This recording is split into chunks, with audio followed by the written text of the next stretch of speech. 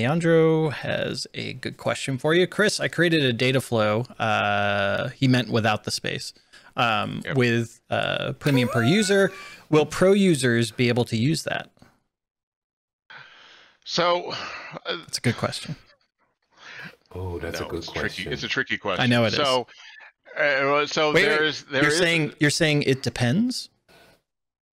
I'm trying not to say it depends. um, so.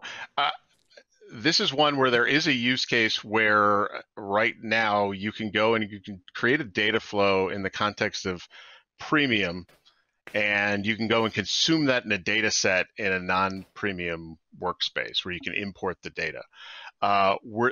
That, at least for public preview, you will be allowed to do. Now, we're going to see how that goes.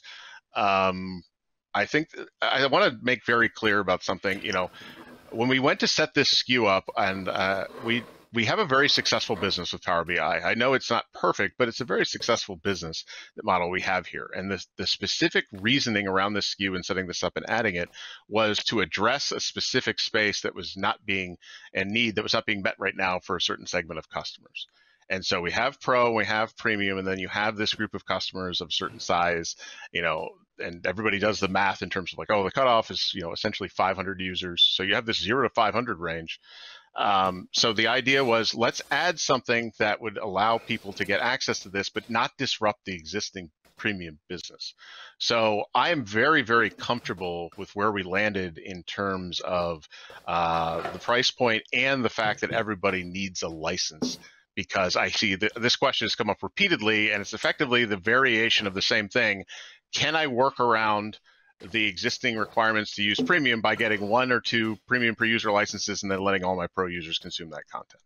Uh, and I'm I'm very very cognizant of that, and you know. Uh, for better or worse, and again, I'm comfortable with where we landed with this. Everybody needs the same license to go consume that content. There is this uh, use case where you potentially can leverage that in that way.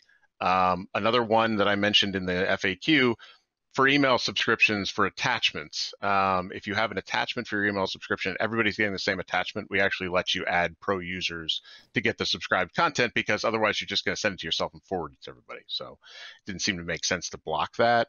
And uh, on that note, one of Adam Saxton's favorite features, uh, email subscriptions with attachments for Power BI reports.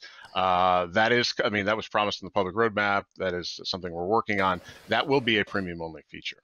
By the way, Mike and, is very interested in that as well. Yeah, I mean, and that's something that, and you're thinking like, oh, well, that was some sort of business decision for there. Actually, we probably couldn't have done it if it wasn't a premium only feature because of the amount of load it puts on the system. And there's a lot of complications there in terms of making sure you get the email subscription on time and because of the way, uh, the amount of users we have there. So there will be premium only, but again, that was one of the reasons why, in the context of premium per user, you can go and add pro users and they can get that uh, subscribed content.